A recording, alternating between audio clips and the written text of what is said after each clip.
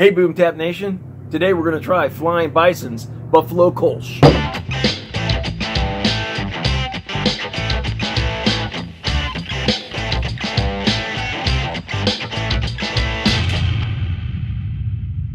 Okay, so Flying Bison is a brewing company out of Buffalo, New York, and uh, this is their Buffalo Kolsch. A Kolsch is a, uh, a golden beer uh, born out of Cologne, Germany.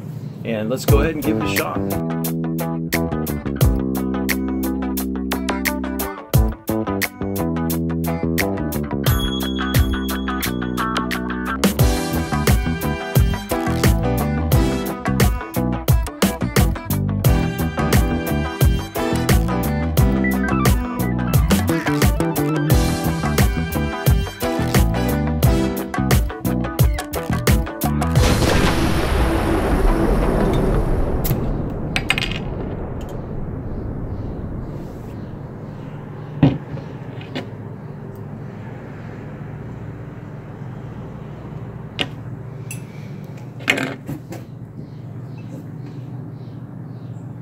Nice golden color to it, kind of is what you would expect from Kolsch.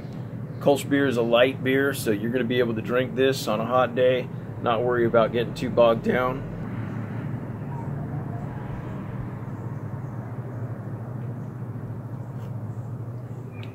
That's pretty refreshing. That's actually uh, very similar to uh, some of the lighter type of beers that you'd find that were American style. Um, looks like the Germans needed something a little bit lighter as well. So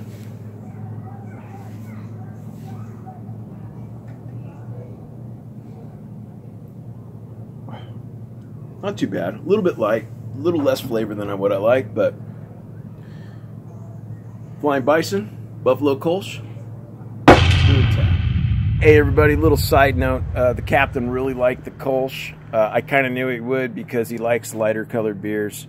Um, so we're going to go ahead and give this one a 6.5. Uh, I would have given it a slightly lower rating than that.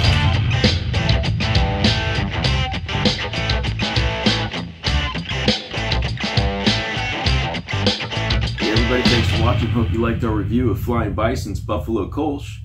If you liked the video, hit the like button. Also, if you haven't already, make sure you follow us on our BoomTap Facebook page. And as always, please feel free to share. Cheers.